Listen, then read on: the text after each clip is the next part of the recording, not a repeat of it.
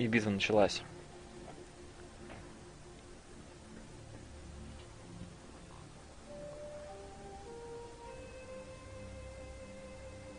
Атака на мага. Массированный ассист. В свою очередь, а, Прист из Айсбро выживает. Умудряется даже ребафнуться. А, лучница катит по периметру арены. Мы видим, что активные действия в центре арены происходят.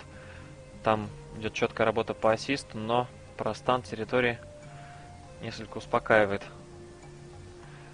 А, Варлок пытается выжить. Так зовут приста команды Доминион. У него это получается, он даже подхиливает своих членов пати. В свою очередь, прист команды Айсбро тоже выживает. Вы заметили, что чем дальше, тем э, более уверенно выживают хиллеры в группах, тем более захватывающими становятся битвы. А, более продолжительными и с меньшим перевесом. Не так сильно заметна какая-то, возможно, разница в слаженности команд, когда присты выживают. Что мы видим? Доминионов довольно много.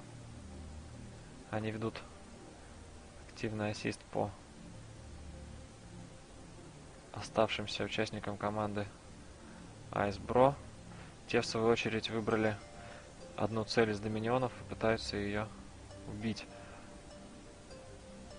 Ультра, Бандерас, Usual. А... Из доминионов остается жить Полосатый, Ирсон, из Айсбро, Ультра, Usual и Бандерас. Ммм, даже больше. Есть еще Сасама. Видите, дорогие друзья, все-таки ход битвы несколько переломлен. Участники команды Айсбро нашли в себе силы выжить а, большим составом ко второй половине схватки и теперь будет сложнее. членом Доминиона.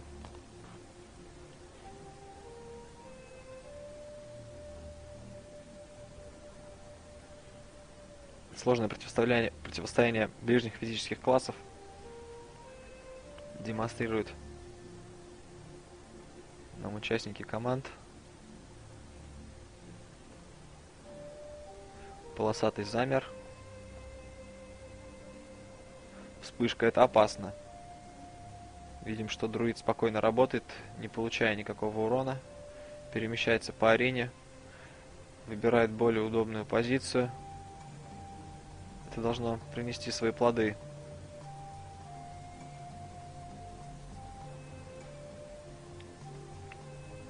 Полосатым приходится не сладко.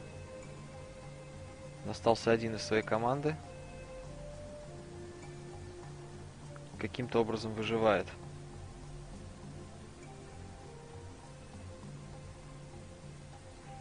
По нему идет ассист четырех участников. Мы понимаем, что шансов практически не осталось. И да, драконы решают исход поединка. Видим, что Айсброд справились, переломили ход. Счет по поединкам 1-1. И предстоит третий решающий поединок.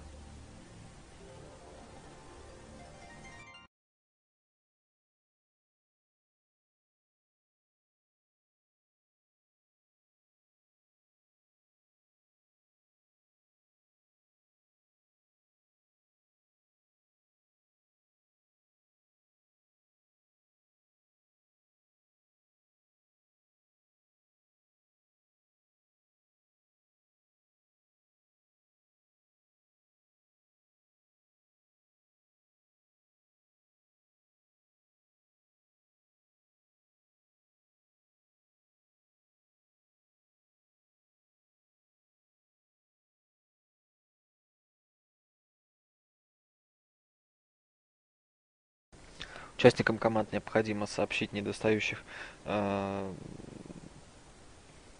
членов пати, да. Видим, что не все из Айсбро дожили до конца, поэтому сообщите, пожалуйста, никнеймы.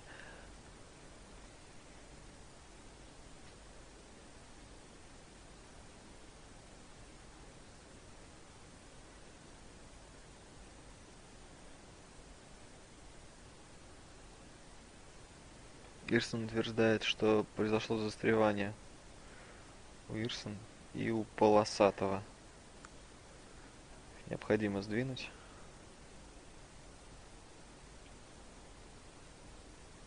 Полосатый тоже в такой же ситуации. С Ирсоном проблема решена. С полосатым в том числе. Итак, команды появляются на арене.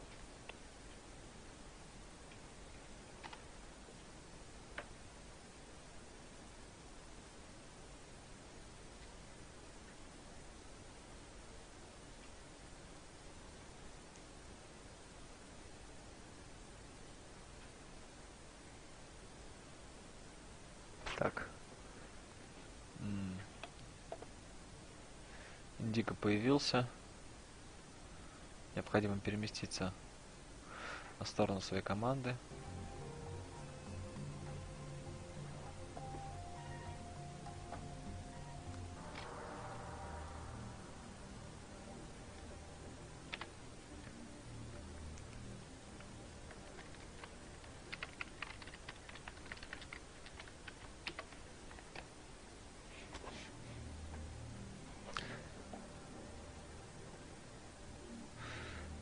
Кто же на этот раз справится с волнением и сумеет грамотно контролировать и выживать. Мы видим, что участники обладают всеми необходимыми качествами для того, чтобы победить. И зачастую лишь случай может решить исход поединка, но Посмотрим. Не будем загадывать наперед. Видим, что участники бафуются.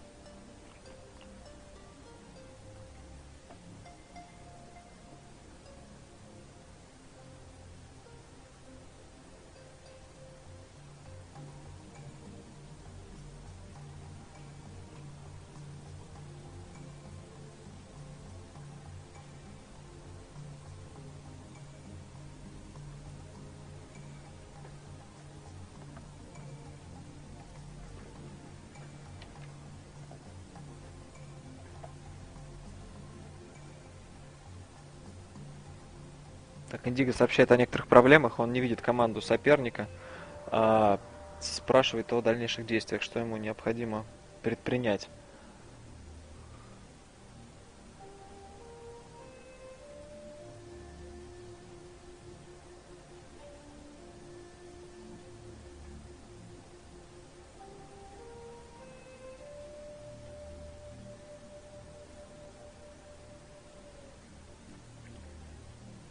Ну что ж, проблема вроде бы решена.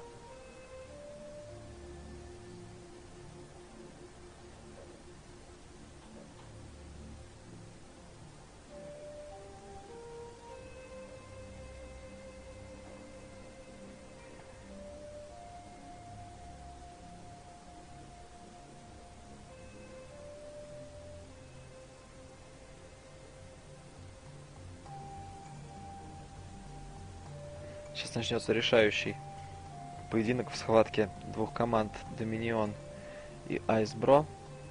Мы с вами, дорогие друзья, сможем пронаблюдать за этой захватывающей схваткой. А, сражение происходит на арене, как вы сами видите, знакомой вам арене города драконов. Но сейчас она приспособлена для вот таких соревнований, как вы уже поняли. На ней нельзя летать. Здесь нельзя призывать летающего питомца у друида. Поэтому используются скорпионы. Вы видите, что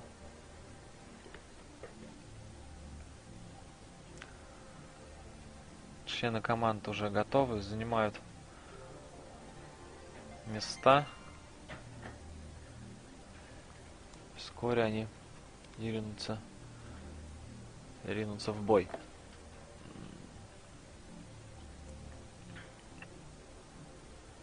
Секундант предлагает заявить о своей готовности. Капитаны подтверждают.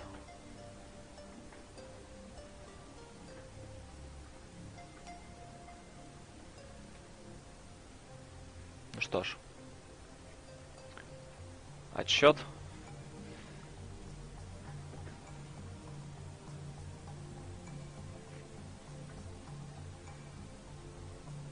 Итак, в атаку, как верно заметил Индиго.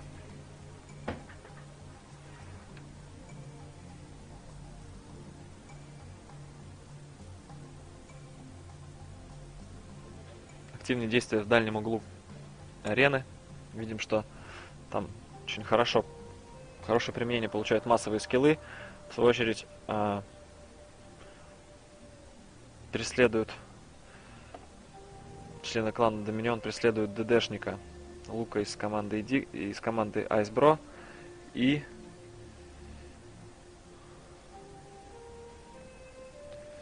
тот пытается максимально выживать. До сих пор жив Прист из команды Доминиона, он практически не получает никакого ассиста, это очень большое опущение.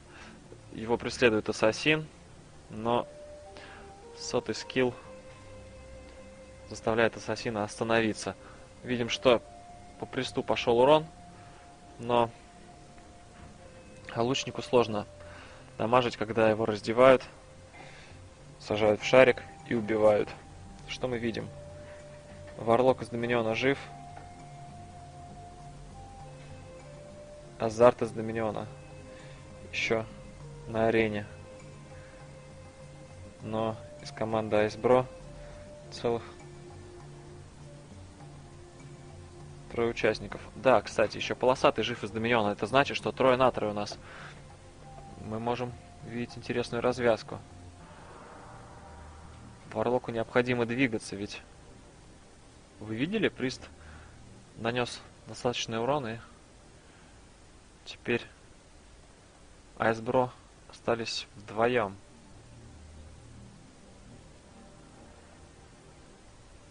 Кто же, кто же в этот раз сможет победить. Варлок грамотно использует сотый скилл Приста, дебафает воина и перемещается по арене, как будто бы его не видят. Вы знаете, иногда возникает ощущение, что присты на этом соревновании после нескольких секунд перемещения – становятся действительно невидимыми, ведь команды забывают совершенно про их уничтожение. Вот явный пример того, как делать не надо. Мы видим, что Прист из Доминиона до сих пор жив, он всячески саппортит своей команде и позволяет выживать друиду и оборотню. Ребятам из Айсбро приходится не сладко, их спасает лишь то, что они носят хэви шмот, у них достаточное количество хп. Посмотрим, чем же закончится это противостояние. Друид не заюзал антистан, но снимает глушение. Да, удачный Армагеддон от Полосатого решает исход жизни Бандераса. И среди Айсбро остается лишь один участник. А танку сложно будет выживать, и боюсь, что шансов победить в этом раунде у него практически нету, ведь да, вы видели все сами, дорогие друзья. Против троих в одного. Очень сложно. Итак, поздравляем Доминионов.